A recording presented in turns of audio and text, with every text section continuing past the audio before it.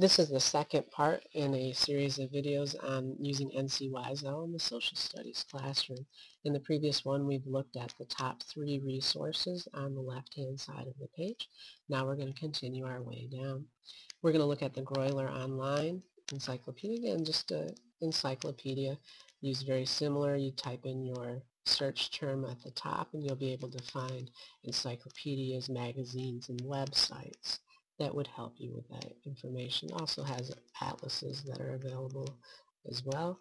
Um, you have access to world newspapers, which could be a great um, information resource. Uh, but what we're going to focus on right here is a teacher resource. If you go down to the bottom of the page, there's a section that says for educators. And when you click on that, uh, you can go to your subject. Well, you can type it, you push history, or social studies. Let's do social studies. And it's going to break it down by grade level. And so here's 3 through 5. That's not going to be applicable for most of us. But if you look at the 6 through 8 section, you can kind of search for what it is you're looking for. Um, so maybe we're doing uh, research on Egypt. So there's an Egyptian museum, and it gives us a lesson plan that would help us in that area. And it uses the resources from the Grolier Online resources. So that's kind of a short overview of Grolier resource available through NC WiseOwl. Um, then there's newspapers, which will give us uh, full text newspapers. Uh, we're not going to take the time to look at that one. There's a lands and people resource, but we're going to spend one video just looking at that resource, so we're going to skip that for now. And then there's also an ebook center. You click on the ebook center, there's a bunch of resources that are helpful. Most of these resources are helpful either in the science classroom or in the social studies classroom.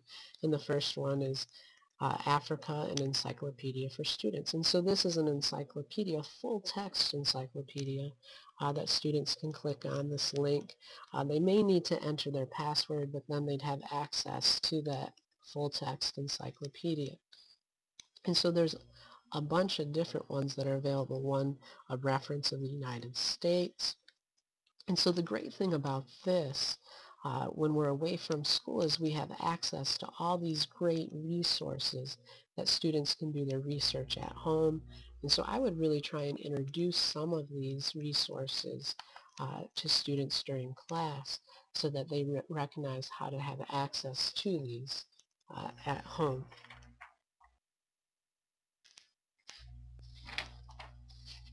The next resource we're going to take a look at um, is going to be the video collection. And so within the video collection, we have a collection of PBS videos and Britannica Media.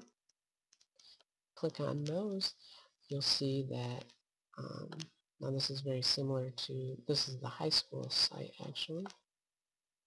But within the Britannica, there's actually some videos that we can uh, watch as well. That would be very helpful. Um, there's in the middle section here, there's some helpful resources that you can find, especially if you're studying about North Carolina. There's the Carolina Clips, um, North Carolina Resources. But one of the key ones here is going to be primary source websites. And so this has a whole list of primary source websites, and it's kind of overwhelming, all of these. Um, the one, I've kind of searched through them, the one that I found the most helpful to me and the best organized was the American Memory one, which is nice because it's the first one. Uh, but you could search for what it is that you're looking for, um, and there's a lot of different searchable terms, but it has a lot of primary source documents. Let's just, this shows a collection highlight of Abraham Lincoln, and so you can see some of the information that's available through Lincoln, even his letters and it shows his actual writing and then it has it, what he wrote, wrote in that actual writing. Um, so, so very interesting primary source documents and I realize our curriculum is asking us more and more to find those and have students engage with those topics.